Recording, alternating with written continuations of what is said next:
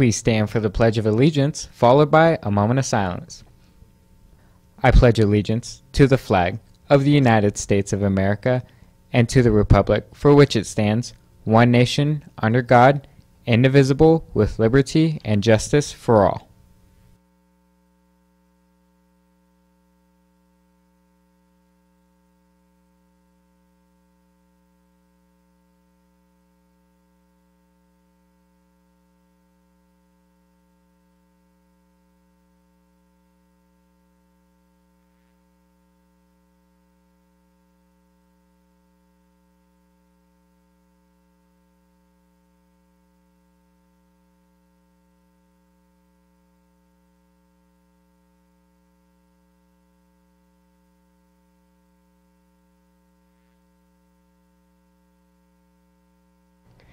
Coming up on FST News, we find out what COVID-19 for the pledge. sanitation protocols are being followed around this hill.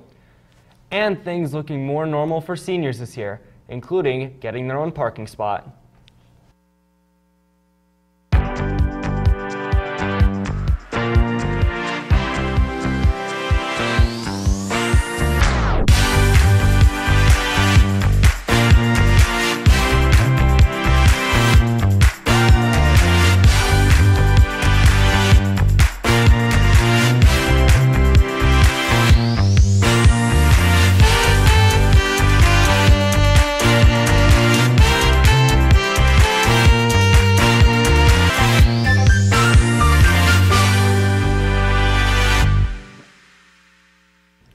Good morning. Today is Friday, August 13th. I'm Victoria Rader. And I'm Aiden Bennett. Welcome back, Falcons.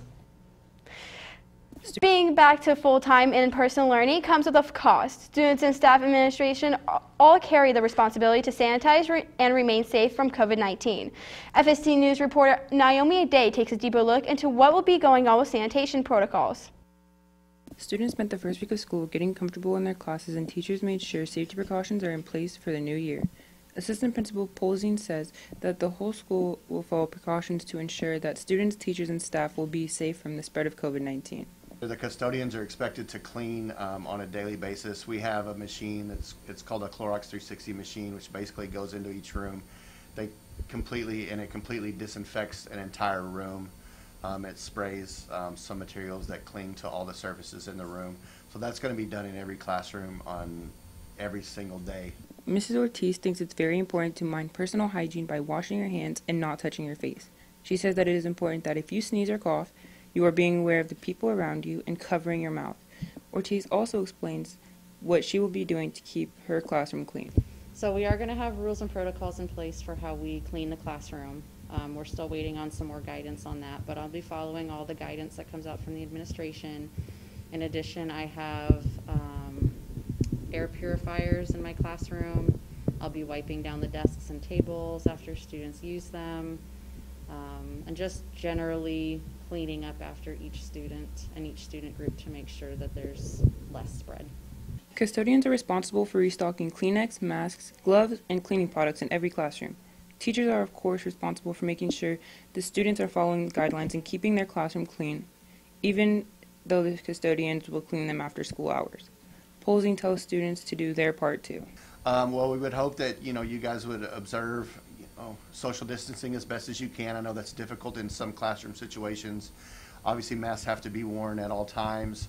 Um, and just to be smart, you know, if you're feeling any sort of a symptom that, that is COVID related, please just stay home.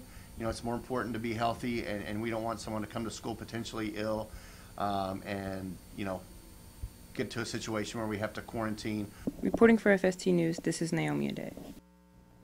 Senior parking is drawing near for those of you seniors. Seniors will be able to paint their parking spot on September 10th. So if you want to make sure you have a reliable parking spot that you call your own, don't miss out on your opportunity. Important dates include a mandatory, and we repeat, mandatory, meeting August 18th from 1.30 in room, starting at 1.30 in room 254. You can pay for your spot starting August 23rd, but the last day to pay is September 3rd. September 10th is the big day you can paint your spot after school. Have some happy feet? We may have the perfect club for you. Members of the West Coast Swing Club learn to partner dance, which includes salsa and swinging. If you and a friend would like to learn some moves, go to Portable 809 at 1.30 p.m. today to go meet up with Mr. Acosta and to learn more about the club. The Robotics Club is gearing up for a 2021 and 2022 season and need participants to, complete, to compete. Positions include programmers, builders, admin administrative support, game setup, and design. And all will be competing in the first tech challenge. Meetings after school every day except Tuesday in room 312 and all experience levels are welcome. Students will be using Chromebooks again this year, and each student should expect to receive one by next Wednesday. Students will receive their Chromebooks during enough English classes distribution take place by grade level. Students are allowed to take them home and are expected to bring them back school, to school every day. School librarian Mr. Tom, Mrs. Thompson, Tom, okay, would like to remind you that you are not allowed to bring personal laptops from home, only school. Distributed Chromebooks are brought to school. If you're interested in playing for Foothills flag football team or for softball team, there will also be an informational meeting being held by Coach Mays at 116 on Thursday, August 19th in room 254. Anyone interested in shooting hoops for the boys basketball team must attend a mandatory Google Meet on Thursday, August 26th at 6 p.m. The informational meeting will include procedures for participating, details about upcoming this, the upcoming season. Please contact Coach DeSantis or Coach Kruk for PE, and the link to the Google Meet is posted at the bottom of, of foothillhenderson.com. Please log in with your CCSD email. Last but not least today, the student store is now open every day and from mornings from 6:45 to 7 a.m.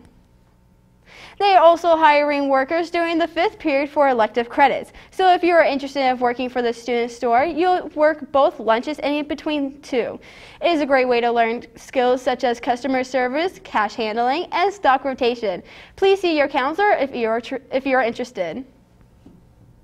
And that's all the news going around the hill today, Falcons. Make sure to follow us on Facebook, Instagram, and Twitter at FST News. And from all of us here at FS News, have a fantastic Friday, Falcons.